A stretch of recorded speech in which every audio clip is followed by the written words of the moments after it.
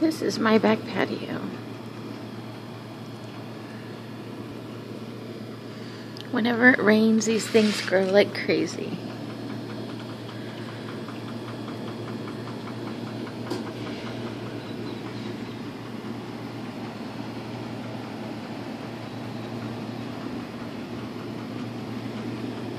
After